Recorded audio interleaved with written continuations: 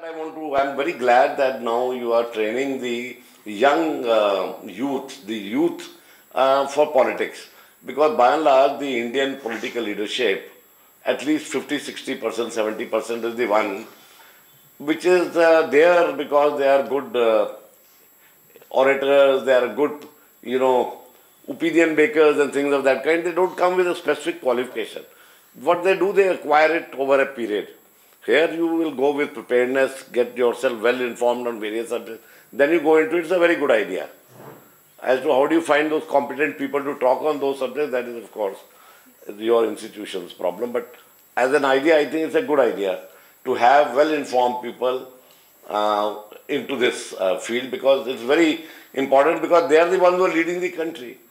So the leadership should be well trained.